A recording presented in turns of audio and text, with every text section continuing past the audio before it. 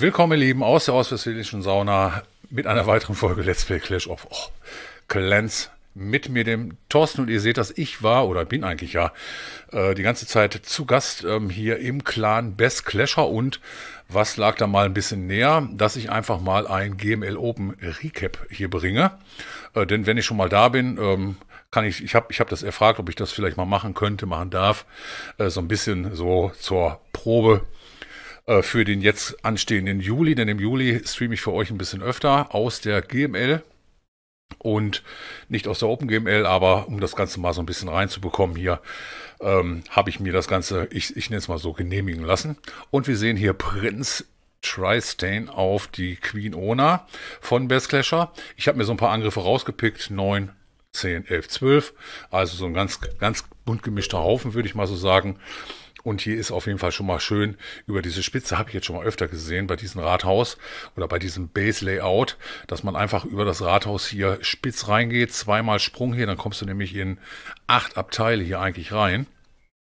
Und dann stört dich auch nicht wirklich der, der äh, Lavahund in der Clanburg, denn Queen ist außen umgegangen, die hat sich jetzt daran nicht so wirklich gestört und die Hexen äh, so ab, ab und zu mal. Aber der macht dann halt ein bisschen zu wenig Schaden für die laufenden Truppen. Da in der Mitte war der King, habt ihr gesehen. Jetzt haben wir da noch einen Golem, der ähm, noch am Ende nochmal tankt hier. Queen ist immer noch zündbar. Und ja, ihr seht das hier auch in der GML Open. Ist es nicht erforderlich, dass ihr hier Maxed Helden haben müsst oder so. Aber ich glaube, das hatte ich schon mal erklärt. Also hier kann eigentlich jeder mitspielen. Auch man muss nicht unbedingt in dem Clan sein, wo man jetzt gerade spielt. Es gibt äh, sogenannte Zusatzspieler oder Ersatzspieler, die hier ähm, zum Einsatz kommen können. Und das finde ich eigentlich ganz, ganz gut. Das können dann welche sein, die mit diesem Clan eigentlich gar nichts zu tun haben, aber halt dann während der GML ähm, hier in diesem Team einfach mitspielen, finde ich auch ganz, ganz gut. Ich habe auch jemanden kennengelernt, ähm, bei dem das oder wo das so ist. Und äh, deswegen ähm, finde ich das eigentlich sehr, sehr gut, weil ich das auch, auch so noch nicht wusste. Ich habe immer gedacht, wenn der Clan denn antritt, dann sind das immer nur Leute, die wirklich aus dem Clan auch kommen. Queen immer noch nicht gezündet, hier 24er Queen, alles noch schön im Gift da, ah, gerade noch so am Rand erwischt. Aber die kleinen Puppies, ah, okay, jetzt muss also doch zünden. Und Jetzt haben wir aber auch noch einen Bogenschützenturm und jetzt haben wir noch eine Mauer. Oh, wir haben noch wie immer eine Mauer. Ne? Eieiei.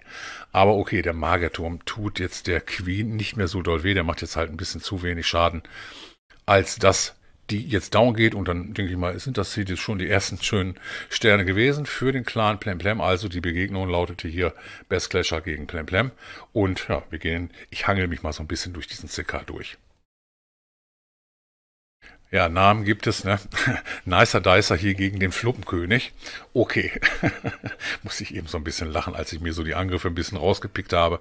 Also auch hier mit Kombina Kombination, ähm, nicht äh, Bowler, ich wollte gerade sagen Bowler, äh, sondern Golem, Hexen und was gab es in der Clanburg. In der Clanburg gab es Bowler, okay, also sind sie ja doch dabei, aber sechs Stück, die gehen, so viel passen in die Clanburg hinein beim Rathaus Neuner. Und auch hier ein Lavahund in der Clanburg. Ja, ich weiß nicht, viele haben den nach wie vor äh, drin, äh, da weiß ich gar nicht, ob das hier eine, eine Absprache ist, äh, wer hier was in der, in der Clanburg hat, aber ja eigentlich nicht, das wäre, ich glaube, es wäre ein bisschen blödsinnig, wenn alle sagen, okay, wir nehmen alle einen Lavahund in die Clanburg, äh, dann weiß man ja schon, was einem erwartet, aber ähm, in einigen anderen Angriffstaktiken ist er halt sehr nervig, aber auch hier seht ihr, mit zwei Sprung wird hier gearbeitet.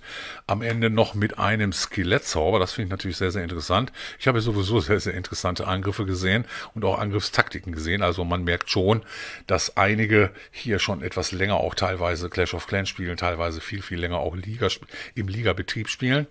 Und dementsprechend auch unheimlich viele Angriffstaktiken kennen, so verschieden sie auch sind, aber ah, jetzt hab, ach da, die sehe ich jetzt zum ersten Mal hier, die, die beschildeten Skelette hier, die sehe ich jetzt wirklich zum ersten Mal, deswegen muss ich jetzt einmal ein bisschen größer reingehen. Ah, okay, coole Sache hier nochmal zu, die nochmal zum Ende zu ziehen. Ah, nicht schlecht. Schön gemacht hier, nicer Dicer auf, äh, also 18 auf 17, cooles Ding. Ich glaube, wir sind jetzt schon im Rathaus 10 Bereich. Da bleibe ich auch gleich mal auf der Seite von den Best Clashern. Also ich wechsle immer so ein bisschen rum. Wir nehmen jetzt den ersten Zehner hier von der Seite. Ich finde das, glaube ich, ist eine, ist eine faire Geschichte. Ähm, aber ich habe mir auch ein paar Bases melden lassen, die ich halt nicht zeigen soll. Das ist auch vollkommen in Ordnung. Ich habe ja vorher gefragt, wäre das in Ordnung? Und wenn dann jemand sagt, ah, meine bitte nicht, weil ich bin noch in der und der Liga, das könnte ja jemand sehen. Kein Thema, aber das ist auch eine sehr, sehr interessante Rathaus-Szene-Kombi hier mit Valkyren und Bowler. Die gehen jetzt schnurstracks hier durch die, durch die Mitte in diese Base rein und noch mit einem Slammer im Backend, also den Slammer nochmal irgendwo dazugesetzt. Was heißt irgendwo? Sicherlich ähm, da, wo es, da, wo es weh tut. Nämlich hier unten am Inferno tut es jetzt schon ein bisschen weh, denn der ist ein bisschen außer Reichweite für alle Truppen. Und in der Mitte ähm, werden die Truppen jetzt komplett durchgeheilt. Allerdings die ganzen Heiler sind jetzt auch ähm, auf den Inferno-Strahl drauf. Okay, jetzt ist der Inf jetzt ist der Inferno weg, jetzt ist er weg. Und die knabbernden Skelette haben natürlich lange zu knabbern an dem dicken Ballon, muss man, muss man fairerweise so sagen. Der hat ja doch schon ein paar, paar Heatpoints mehr und die machen ja jetzt nicht so den Extremschaden. Ihr seht das hier, wie voll der Slammer noch ist. Also Slammer ist eine coole Wahl. Ich habe ihn jetzt sehr, sehr häufig gesehen. Auch äh, bei der ESL wird mit dem Slammer sehr, sehr häufig gekämpft. Und ich glaube, wenn man gut einsetzt, und ich glaube, er war hier gut eingesetzt vom Igel, dann ähm, ist da, ist, kann man da richtig viel mit reißen. Ihr seht das, der ist ja immer noch da. Und ich weiß gar nicht, ob er den am Ende aufgemacht hat oder ob der aufgegangen ist. Ich glaube, er hat ihn doch auf. Ne, er hat nicht aufgemacht. Der ist äh, doch ganz normal aufgegangen und nochmal einen Eilzauber ganz am Ende gesetzt hier für die restlichen defensiven Gebäude. Und dann sind das auch hier super drei Sterne. Also hier waren sowieso unheimlich viele Kämpfe auf drei Sterne, ganz klar ausgelegt, gar keine Frage. Auch wenn so hier und da, ach, das ist mein Tablet immer, wenn ich aufnehme, äh, so hier und da gab es natürlich auch mal einen Edelscout, so will ich das mal nennen. Aber schön gemacht hier 12 auf 13, das war Rathaus 10. Auf Rathaus 10, wir springen zur anderen Seite rüber. Und da haben wir den TH Tor vom Clan Plemplem auf ich nenne es mal so, unsere Nummer 10 auf den DK. Ähm, Rathaus 10 auf Rathaus 10. Also wir sind jetzt schon auch schon so ein bisschen, bis, bisschen ein kleines bisschen höher gerutscht, wenn auch nicht viel, aber ich muss ja irgendwo auch so ein bisschen die goldene Mitte treffen. Also äh, wir müssen das Ganze ja auch so ein bisschen in die Zeit reinbringen für so ein, für also ein Recap. Und ähm, ich denke mal, wenn wir aber erstmal in den Livestreams sind, da wird sicherlich dann auch immer mal ein Recap von geben für Sachen, die man dann vielleicht nicht so, nicht so im Fokus hatte, nicht, nicht so gesehen hatte. Und ähm, Deswegen habe ich mir halt die, die Angriffe so rausgepickt von beiden Seiten auch, ähm, so dass das in, in etwa auch passt, das, das Gefüge und ich jetzt nicht, nur weil ich bei den Best Clashern jetzt gerade zufällig bin, nur von denen etwas zeige, sondern die von Plam Plam können ja auch angreifen. So ist es ja nun nicht. Also sehen wir hier erstmal einen schönen Queen Charge. Der Queen Charge soll hier reingehen. Also kleiner Unterschied wieder. Queen Walk geht außenrum. Queen Charge soll eigentlich in die Base reingehen. Und mit einem Golem wird hier verteidigt. Okay, der nervt natürlich auch. Max Golem hier in der Clanburg. Der ist unheimlich nervig, weil der natürlich richtig, richtig Trefferpunkte hat. Die muss die Queen jetzt erstmal runterballern, keine Frage. Und danach teilt er sich dann ja auch noch und verteilt dann auch noch etwas mehr Schaden ja jetzt gerade im Moment. Denn ähm, wenn ihr die Patch Notes gelesen habt oder äh, nach, nach dem letzten Update, hat der Golem ja ein paar mehr ähm, nicht, nicht Trefferpunkte bekommen, sondern wenn, wenn er sich teilt in, in diese zwei Mini-Golems, dann macht er etwas mehr Schaden. Also die beiden machen dann etwas mehr Schaden. Hier geht es immer noch, immer noch rein in die, in die Base. Ja, so ein bisschen trottet die Queen teilweise außenrum, aber hat auch keinen Sprungzauber dabei, sondern für die Miner hier die Heilzauber die Heilzauber für die Miner und ich weiß gar nicht, ich habe ich hab jetzt gerade schon überlegt, wie lange soll dieser Inferno da hinten noch stehen. Okay, mit dem Babydrachen super gemacht hier. Das ist natürlich keine Gefahr für äh, den Babydrachen, so ein Inferno-Turm auf Multi und hier geht's fröhlich weiter in Heilung vor allen Dingen. Die, die Miner, das ist, das ist immer sehr, sehr cool. Dann hast du, ich, ich hätte fast gesagt, das ist ein bisschen so die halbe Miete, äh, wenn du dort deine Endtruppen nochmal in Heilung bekommst, weil die Heiler halt erstmal nichts gefressen haben und äh, auch wenn das jetzt gar nicht mehr so viel sind, die sind immer so ein ganz, ganz kleines bisschen in Heilung, das reicht. Ja, das reicht für die, für die Erdbuddler hier. Queen ist noch außen, wir haben noch einen Giftzauber, Queen noch Zündbar 3, Bogenschützen auch noch dabei. Ich denke mal für so ein bisschen Cleanup oder so ein bisschen Ablenkung hier außen. Wunderbar gemacht. Und auch schönes Ding hier von Tor auf die Nummer 10, auf die Base äh, von DK. Also tolles Teil hier. Ähm, und auch coole Bases, muss ich sagen, habe ich gesehen. Also lohnt sich in jedem Fall mal so ein bisschen die Verlinkungen hier anzuschmeißen. So, gucken wir mal, der DK hier, also eben noch den Angriff auf DK, jetzt den Angriff auf dem Plemschlingel, auch nicht schlecht, auf dem Plemschlingel vom Clan Plemplem, aber so Plemplem habt ihr gerade gesehen, sind die bei, bei, bei Weiben nicht. Ich denke mal, die haben auch den Schalk im Nacken oder den Spaß im Nacken oder ich glaube Schalk im Nacken heißt das. Also erstmal kurz hier die Clanburg gelockt mit King und Queen vergiftet. Einmal den, ja, der Loon ist jetzt nicht so schlimm, aber der Drachen für die restlichen Truppen, ja, der tut dann schon ein bisschen, bisschen mehr weh und noch gar nicht so viel geschafft. Ihr seht das hier jetzt mal gerade so das Rathaus, 13 Prozent und die Queen ist auch nicht mehr zündbar. Die hat jetzt, die haben wirklich nur, dieses Pärchen hat sich jetzt erstmal nur ein bisschen die Clanburg geholt und ähm, ein wenig äh, Defense, aber wenn auch nicht so super viel. Mal sehen, wie es jetzt hier weitergeht mit Zeppelin, okay. Äh, eben, ich, ich weiß gar nicht, ich glaube eben, der wurde jetzt nochmal gewechselt. Ah nee, den kannst du ja gar nicht wechseln als Rathaus-Szene. Also geht das hier mit dem Zeppelin erstmal rein. Da wurde schon mal so ein bisschen mittig was entkernt. Und Jetzt geht der eigentliche Laloon-Part los hier auf 1, 2, 3, ja auf noch 3, ne, auf, auf vier Luftabwehren. Das ist auch sportlich, muss ich sagen. Aber die haben jetzt ein super Passing hier. Ihr seht das. Die nehmen jetzt wirklich Stück für Stück hier die Außen, Außengebäude super mit hier und dabei sind natürlich auch die Luftabwehren ähm, kom komplett hier mit drin und sind jetzt schon mal weg. Jetzt gibt's hier kaum noch was, was Luft verteidigt. Klar, der ähm, Inferno macht es natürlich, der schießt auf Boden- und Lufttruppen. Einmal den Magierturm noch, aber äh, super reingeheilt hier vor allen Dingen in, in die ganze Meute. Da ist noch ein Hund. Ah, das ist immer schade, wenn, wenn ein Lavahund eigentlich nicht platzt, weil gerade wenn es dann später ums Cleanup geht, ähm, da hat äh, ja, so, so ist es besser. Dann, hast, dann hat man noch ein paar Welpen in der Base, sonst macht ja so ein Lavahund beim Cleanup überhaupt keinen Sinn. Muss man sagen, der macht so wenig Schaden. Der kriegt nicht mal ein einziges Gebäude runter. Hier wurde jetzt noch mal kurz einmal abgelenkt. Der Magerturm, äh, der Magerturm, der Bogenschützenturm, hinten ist schon, sind schon ein paar Welpen überall unterwegs. So willst du es eigentlich haben, dass überall schon so ein bisschen Cleanup mit drin ist. Und die Loons machen jetzt auch nochmal die etwas dickeren Gebäude hier einfach mal mit ähm, so dass du hier keine großartigen Zeitprobleme gibst. Es gab ja auch mal wieder so ein paar Zeitfails, das ist immer sehr, sehr unglücklich, aber gut, den Club der 99er, dem wohnen ja ganz, ganz viele bei. Ich würde fast sagen, jeder Clasher ist da sicherlich, oh, entschuldigt bitte, herzlich, herzlich willkommen. Aber hier sind wir im Club der hundertprozentigen also DK auf Plemschlingel.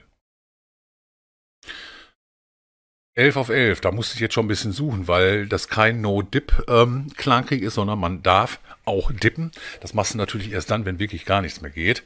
Und ähm, wir haben hier die wohl mir bekannte Alex Zockerine von Best Clashers auf den ähm, King Ragnar vom Clan Plemplem äh, ist Ragnar einer? Ah nee, Ragnar ist nicht auf der Blacklist. Okay, also kann ich das ruhig zeigen. Komische Base habe ich schon lang, länger nicht mehr gesehen. Dieses, dieses Halbring-Base-Layout, so will ich es mal sagen. Du hast so ein paar Ringe und ähm, mal sehen, wie es das hier gelöst hat mit der Taktik ähm, mit Pekka und ähm, Fledermauszauber. Äh, Pekka Smash, ja. So heißt das Ding, glaube ich. Äh, den kannst du entweder mitmachen oder ohne machen. Also es gibt auch viele, viele Taktiken, die ohne, ohne den Fledermauszauber auskommen. Aber mal sehen, wann sie den hier nimmt. Ich habe auch noch nicht jeden Angriff gesehen. Bin ich jetzt mal wirklich drauf gespannt. Der Adler ballert die ganze Zeit. Ja, viele wollen natürlich erstmal den Adler weghaben, damit er nicht die ganze Zeit hier äh, rumballert. In der Mitte haben wir einen Packer, der sich jetzt gerade um ein paar kleinere Skelette leider erst kümmert. Jetzt ist er leider auch weg. Das ist natürlich sehr, sehr ärgerlich. Und jetzt haben wir hier einen Single-Inferno und ich glaube, der andere steht auf, ist das ein Multi? Oh, oh, schade, der war ein bisschen spät gesetzt, aber hat sie wahrscheinlich nicht gesehen, dass der kaum noch Trefferpunkte hatte. Also der wurde gerade nur mal angehaucht hier und jetzt erst zum Schluss den, den Adler hier gemacht. Aber cooles Ding hier mit, vor allen Dingen mit den mit dem Fledermauszauber. Der ist richtig, richtig gut durchgegangen. Zwar ist nicht ganz bis zum Ende, aber da leben jetzt noch drei Defense-Gebäude und für die Bowler und für die Hexen hier Queen auch noch dabei und noch zündbar. Also, ähm, das ist schon ein tolles, tolles Ding gewesen. Hier schöner Angriff, keine Frage. Auf dieser Seite hier 11 auf 11. Auf der anderen Seite muss ich das jetzt erstmal suchen. Ähm, ich, aber ich glaube, ich hatte, ich hatte schon einen gefunden, der auch hier im 11er Bereich ähm, getrippelt hat vom Clan Plemplem, aber erstmal ging es den King Ragnar an den Kragen. Schön gemacht dir. Glückwunsch. Oh, ich muss jetzt gerade ein bisschen suchen bei Plemplem, aber ich habe den Sebi hier gefunden. Sebi aus, Ausbilder auf, auf Ausbilder, aus, Ausbilder Gerd. 11 auf 11 hier mal schauen. Auch mit der Truppe Heiler. Ja, wo startet der? Ah, hier hinten. Einmal Heiler. Ähm, Hexen und Bowler jeweils in die Ecken hier reingesetzt. Ja, ich starte eigentlich auch mal ganz gerne in den Ecken, muss ich sagen, damit da nichts anbrennt. Äh, denn ich habe auch nicht immer einen Loon dabei, so nach dem Motto, oh, wenn hier auf, auf Ecke jetzt irgendwo ein Tesla hockt, dann äh, schaffst du den ja immer mit einem einzigen äh, Ballon und äh, den habe ich aber auch nicht immer dabei. Na, sollte man vielleicht, vielleicht sollte man sich so einen aufsparen. Aber auch hier geht es jetzt erstmal Richtung Adler. Die Truppen können jetzt nicht mehr nach außen, die werden jetzt nach innen reingezogen, also schön gefunnelt hier mit den, mit den Hexen und mit dem ähm, Bowlern auf den Ecken jeweils.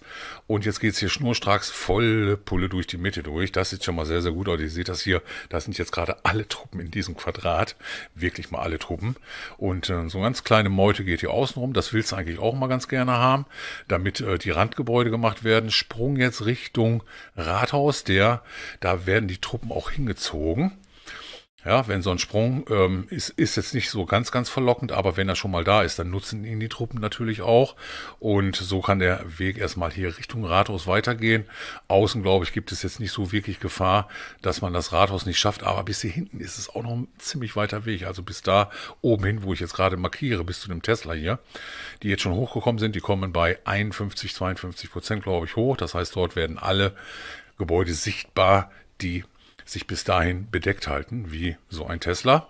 Und der, ähm, der Packer tankt hier sehr gut, also die Packer Dame tankt sehr, sehr gut. In der Mitte jetzt Queen und ähm, Warden noch dabei. Schnell mal den ähm, den Inferno noch gefriest. Ich glaube, das war sehr, sehr wichtig an der Stelle, denn sonst wären die Truppen hier, ah, jetzt laufen sie dann noch mal wieder weg. Okay, ist natürlich auch, ist, kann auch manchmal ein Segen sein, wenn die Truppen sich noch mal entfernen, denn äh, im Moment ist allerdings, ja, das ist auch schade, die Heilung hat gerade geschwenkt, habt ihr gesehen, gerade wurde noch der, der große Wächter geheilt, jetzt wird die Queen wieder geheilt. Die ist natürlich die etwas bessere Option, obwohl auch die Aura von dem Warden ja nicht schlecht ist. Also wenn du dort dauerhaft deine Truppen drin hast, ist das natürlich auch nicht schlecht. Und immer noch unheimlich viele, ja, ich will jetzt nicht sagen unheimlich viele Truppen hier, aber, aber es ist ja noch was da. Ne? Eine Queen ist noch da und jetzt nur noch ein Multi-Inferno und ein Tesla, aber ihr seht schon, ja, mal ein kleines Problem. Okay, da ist die Queen denn doch am Ende gestorben, aber ihr, ihr seht, auch so eine Kämpfe gibt es natürlich sausau knapp 98 Prozent. Okay, kommen wir zur Königsdisziplin. Rathaus 12 ist nicht Königsdisziplin, aber ist halt immer, oder in diesem Spiele ist es die höchste Rathausstufe und dementsprechend ähm, sind auch alle anderen darunter einfach nur kleinere Rathäuser. Mehr nicht. Jeder spielt hier ähm, eine wichtige Rolle, also auch Rathaus 9, 10, 11, 12, beziehungsweise alles, was unter 12 ist, denn alles das, was du auf deiner Rathausstufe schaffst, müssen keine höheren Rathausstufen machen und haben dementsprechend etwas mehr Angriffe die sie nach oben verlagern können. Aber der PK96 musste gar nicht nach oben verlagern. Er konnte sich hier den Tim vornehmen. Schauen wir mal zwei auf Nummer vier. Und hier wurde jetzt erstmal, oh, schöner Funnel hier. Schöner Funnel und Hockrider. Hockrider sind im Rathaus 12 Bereich wieder sehr, sehr stark. Ähm, wenn sie gut eingesetzt sind. Also ich sehe auch diese Truppe. Im Moment sieht man wirklich, wirklich viele Truppen. Also du hast nicht diese Eintönigkeit, die es ja mal gab, mit Bowler, Hixen, Riesen, alles überlaufen oder so, sondern schon so ein bisschen schön gefunnelt. Hier in der Mitte sind die Helden und außen geht das jetzt mit Hawks weiter, mit dem Worten. Und äh, das sind dann schon schon so ein bisschen Angriffe, die sind nicht einfach so von der Stange, so will ich es mal sagen, sondern und auch einfach nicht gespammt, sondern du musst schon wissen, wann setze ich eigentlich meine Hocks, ähm, wann äh, setze ich meine, mein, meine Zauber und wann setze ich meine Wordenfähigkeit ein. Hier vor allen Dingen jetzt am Rathaus, das Rathaus gefriest. Worden ist noch nicht gezündet, jetzt wird er gezündet. Perfekt gemacht, denn alle ähm, Hockrider haben hier überlebt. Keiner, glaube ich, ist da draufgegangen. Packardam ist da auch noch mit im Getummel. Und jetzt haben sich ein ganz kleines bisschen aufgeteilt. Leider muss, springen auch die Hocks immer, müssen dann auch öfter mal wieder die Base verlassen, weil noch Außengebäude sind. Da lauern dann auch immer noch ein paar Fallen. Aber cool gemacht hier von PK96 auf die Nummer 4 auf den Tim. Aber schönes Match. Ich freue mich auf jeden Fall, dass ich euch im Juli so ein bisschen mehr live zeigen kann aus der GML. Ich hoffe, ihr habt da auch Bock drauf. Also ich habe Bock drauf, gar keine Frage und äh, macht mir sowieso eigentlich immer, immer Spaß. Vor allen Dingen, ähm, solche coolen CKs jetzt ein bisschen zu kommentieren, um auch ein bisschen zu gucken.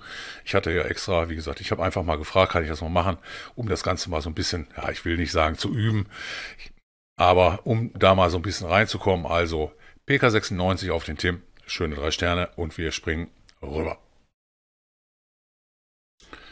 Und wie eng das hier werden kann, ähm, ja, Nummer 1 auf Nummer 2. Nummer 1 auf Nummer 2. Entschuldigt bitte. Nummer 1 auf Nummer 2. Ähm, Rathaus 12 auf Rathaus 12. Ich war gerade ein bisschen woanders. Ich, hab, ich, hab, ich hatte gerade irgendwas im Kopf. Kein Gewitter oder so, sondern irgendwas. Ich hatte gerade irgend so einen Nebengedanken. Aber hier geht es jetzt erstmal mit einem Queen Walk Charge. Ah, mal, mal, sehen. Wir haben Fledermaus-Zauber hier, Packer Smash.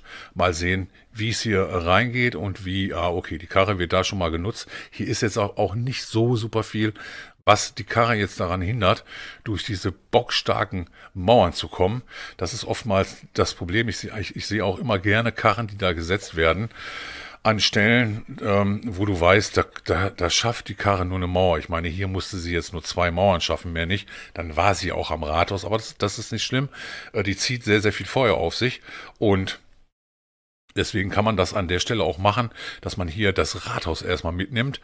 Aber auch hier Wordenfähigkeit gut gezündet. Ich glaube, da ist jetzt nicht so viel gestorben. Ich konnte es jetzt ganz, ganz schlecht sehen. Und hier auf, auf der Außenseite geht's jetzt schon mit den Betzbell so ein kleines bisschen weiter außen. Schön hier mit den mit den Ice Golems ähm, abgelenkt. Zwei Stück ist natürlich auch echt viel, denn die trotten jetzt erstmal nur so durch die Base durch. Ähm, der erste fliegt da schon mal weg. Die sind ja anfällig gegen Fallen. Also die, wenn die auf eine Falle rauftapsen, sind in jedem Fall Hops. Also sie fliegen dann durch die Gegend. Hops sind sie wahrscheinlich noch nicht. Aber außen, außen ist eigentlich auch cool. Drei Packerdamen, Bowler noch dabei hier außen. Ähm, auch kein Gebäude vergessen, dass, äh, ja, okay, die gehen jetzt erstmal nach außen, ist natürlich ein bisschen doof, ist auch immer weiter, wieder ein weiter Weg, haben wieder ein paar Zentimeter verloren und kriegen die ganze Zeit natürlich hier Beschuss. Der, wer ist denn hier unten eigentlich noch? Oh, hier kämpft noch der Dicke, alter Falter, der Dicke kämpft hier noch gegen die Mauern. Auch nicht schlecht. Hatte jetzt bis eben, glaube ich, noch Heilung, die ist jetzt auch weg. Und jetzt die Vierfachkanone, oh, die tut, die tut richtig weh, muss ich mal so sagen. Also die kleinen oder die Doppelgebäude hier, die du ja bekommst, wenn du in der Bauarbeiterwerkstatt die entsprechende Einheit auch gelevelt hast, dann kannst du sie ja auch im Hauptdorf leveln.